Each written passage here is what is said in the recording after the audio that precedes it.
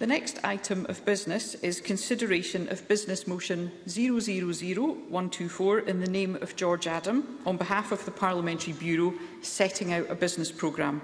I call on George Adam to move the motion. Moved, presiding officer. No member has asked to speak on the motion. The question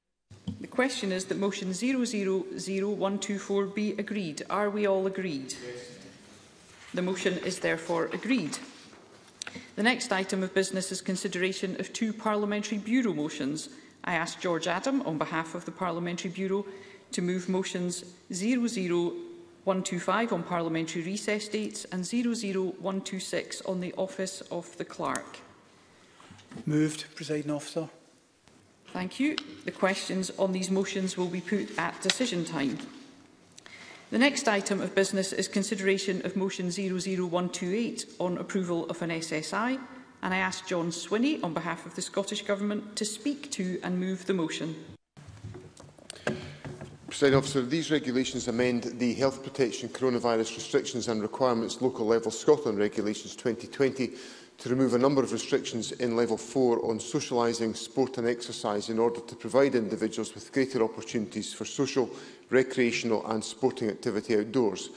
While no area of Scotland is currently in Level 4, we need to ensure that the measures remain appropriate if it is required in future to deal with an outbreak.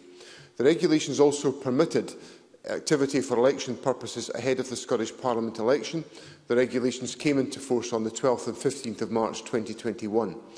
While these regulations have not been to committee for formal consideration and approval in advance of this vote, the Government did share draft regulations with the COVID-19 committee on the 10th of March, so they could consider informally at their session with Mr Russell on the morning of 11th March 2021.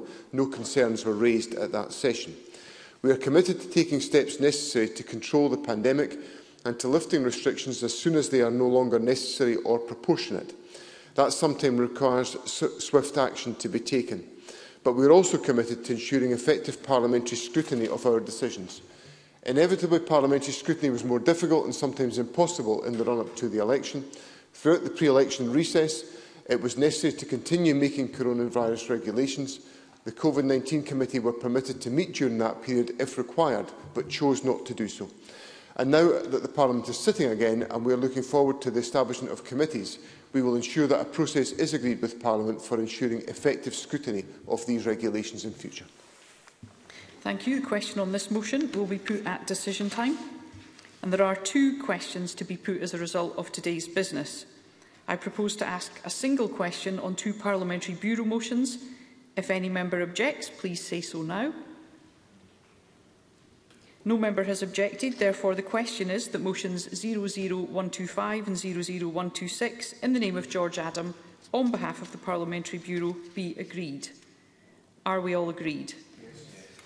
Okay. The motion is therefore agreed.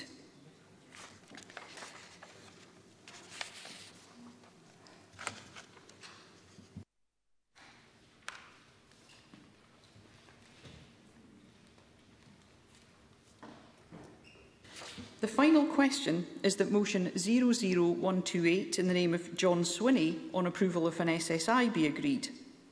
Are we all agreed? Yes. The motion is therefore agreed. That concludes decision time and I close this meeting.